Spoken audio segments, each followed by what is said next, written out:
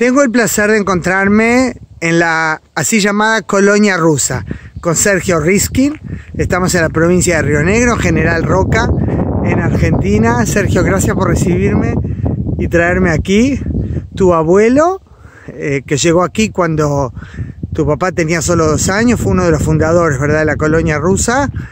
Y tú preservaste este patrimonio, me dice gente de la comunidad, no está claro si Sergio es consciente de la importancia de lo que está haciendo, porque esto lo cuidas tú, ¿verdad? Sí, sí, lo cuido yo con algún integrante de mi familia, eh, un primo mío en este momento. Eh, mantenemos la propiedad original que perteneció a, mi abuelo, Bernardo Riskin. Eh, vino a esta zona en 1913, pero la colonia se inició antes, que en 1906 el líder que forma la colonia, Isaac Losep, con tierras en distintos lugares del mundo y de Argentina y eligió acá en el Valle de Río Negro y eligió esta zona. Qué lindo. vamos a ver acá primero que nada, Sergio, porque vamos a conocer adentro, acá está perpetuada, ¿verdad? Su, su memoria, y no solo a nivel de comunidad judía, sino del municipio todo de Roca, es parte como del patrimonio de la zona. Como patrimonio histórico de la zona. Ahí está, bueno, entremos, y mientras, ¿qué te parece, Sergio? ¿Me puedes ir explicando? Contando de la, historia del lugar. Sí, eh, el nombre Colonia Rusa, bueno, es porque los primeros inmigrantes vinieron con el pasaporte ruso y se llamó Colonia Rusa. Este, eh, y llegaron a una estación de ferrocarril que estaba cercana.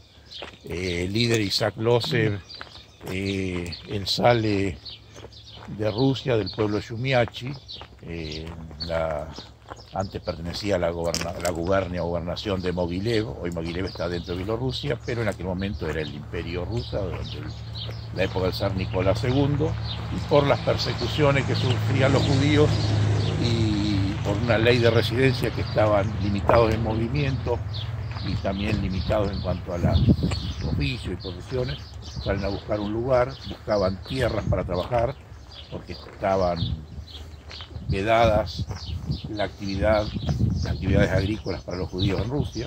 Claro. Eh, en Europa ya había, digamos, propaganda del gobierno argentino para que vengan inmigrantes. Ah, no me digas, eso nunca supe. Ajá. En el año 1905 se reúne con eh, integrantes del Congreso sionista de esa época eh, y le recomiendan venir a Argentina. Había una alternativa también de ir a lo que en aquel momento era Palestina, pero decide venir a Argentina, buscan tierras en distintos lugares, eh, tienen contacto con el gobierno argentino para la compra, es totalmente independiente esta colonia de la Yevich, la que forma las que, las que se forman con el apoyo del Barón Hill. Eso te iba a preguntar, es destacar que la de General Roca no es de las colonias del Barón Hill. Una de las pocas independientes de la Argentina, creo que hay tres independientes. Y bueno, eh, buscan tierra en Argentina, la provincia de San Luis, la provincia de Río Negro, y finalmente cuando llegan acá, sobre todo eligen este lugar porque hay agua. Y aparte, Sergio, perdón que te interrumpa, para que quienes miren esto puedan apreciar. Yo no sé cómo estaba en aquellos años, pero es hermoso es muy agradable, era un desierto en aquel momento. Todo esto lo plantaron. Lo plantaron los pioneros, siguieron plantando y se hizo con el agua de riego. Esto es posible, toda esta vegetación, estas plantaciones con el riego artificial. Ah, yo iba a decir se enamoraron de esto, pero no, esto lo crearon ellos, no había nada. Lo crearon ellos. Inmigrantes judíos también, hubo inmigrantes españoles, italianos. en otras colonias. Eh, estaban un poco eh, juntos, digamos. Al principio había de otras comunidades también aquí. Coexistieron con otras comunidades, eh, como dije, italianos, españoles en su mayoría, y también había yugoslavos, alemanes y franceses. algunos de la colectividad árabe también.